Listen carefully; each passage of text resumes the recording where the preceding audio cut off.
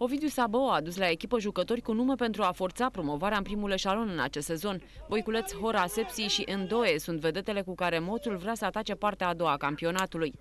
Ca să promovezi, ai nevoie de calitate, ai nevoie de jucători de valoare, pentru că și celelalte echipe sunt uh, echipe cu jucători care unii joacă poate de un an, de doi ani de zile, ne am schimbat foarte mulți jucători, iar pentru obiectivele care ți se impun, uh, trebuie să fii și realist, ai nevoie de calitate, ai nevoie de jucători care au valoare, jucători care pot să facă diferența, că doar cu munca, seriozitate și cu alergătură, performanță nu faci. Tânga a trimis pioni să-i urmărească pe rivali, astfel că secundul Papură a notat totul în carnețel.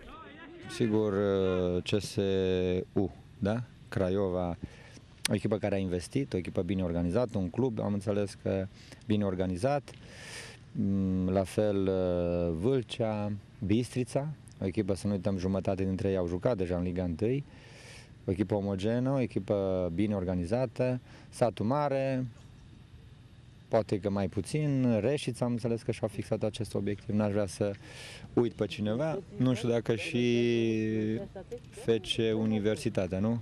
Dacă și ei reușesc, au acest obiectiv. Îndoie a jucat pentru prima dată pentru ASA Târgu Mureș, în timp ce autorul a două goluri pentru trupa lui Sabău Voiculeț nu știe mai nimic despre Liga a doua, dar este convins că va promova. Sunt doar patru luni, am venit uh, să joc. Uh, asta a fost uh, soluția și sperăm să, să promovăm. Suntem foarte conștienți de, de greutatea și de atingerea acestui obiectiv. În al treilea amical din Antalya, murejenii vor întâlni formația lui Mircea Lucescu, Shakhtyor Donetsk.